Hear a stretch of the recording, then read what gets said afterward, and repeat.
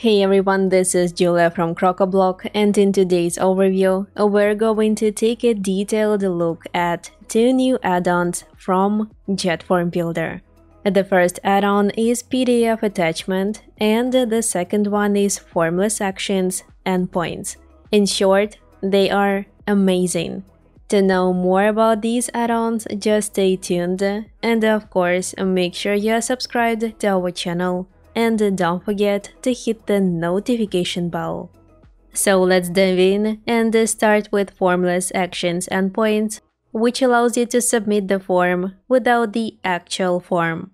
Simply speaking, you can place a button anywhere on the website, and by pushing this button, it triggers a certain form that the user doesn't need to fill and submit. For example, you have a listing and you can place buttons for approving or rejecting the post on the front end. Let's say the admin hits approve and at the same time it publishes the post and sends an email to the user. Here is a car dealer website and uh, some pending posts. If I check them from the dashboard, there will be the same number of pending ones. So once I click the Approve button, it shows that the form is successfully submitted. Uh, we will see that the post status also changed, and it is published now. In addition, the user gets an email notification that the post is approved. The Formless Actions Endpoints add-on gives you the power to create a form, for example, to approve the post, Add any actions to it, like insert or update post,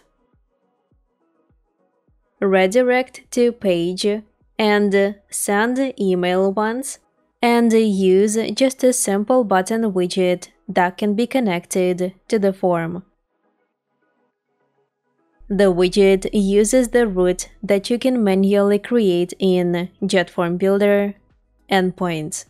To sum up, Formless Actions Endpoints add-on helps execute the needed after submit actions using a single button on the front end without the actual form. It can submit forms both within one site and between different web spots.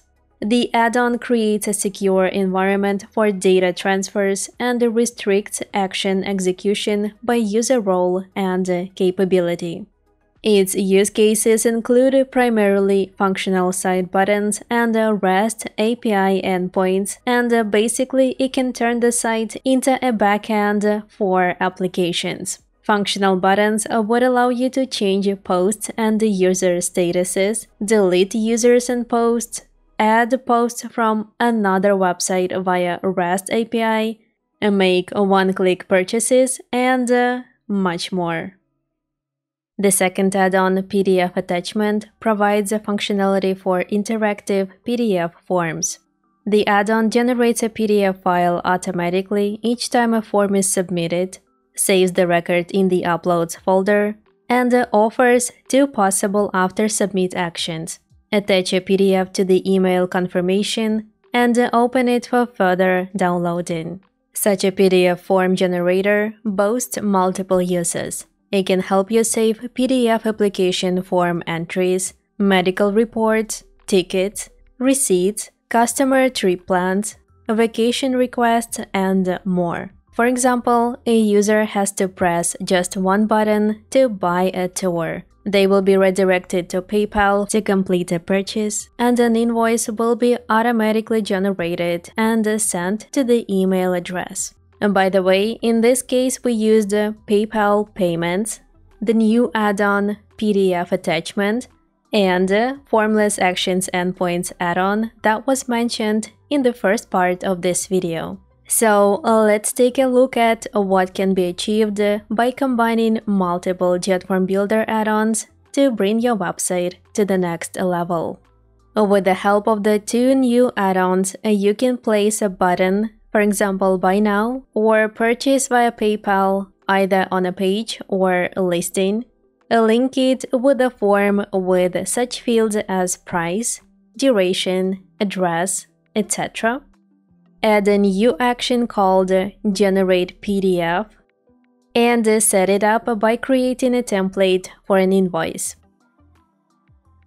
Moreover, you will be able to save the generated PDF and uh, find it later in the related form record, and also attach the file to the send email action. By clicking right here, you will get the file path to the generated PDF automatically added to the send email action.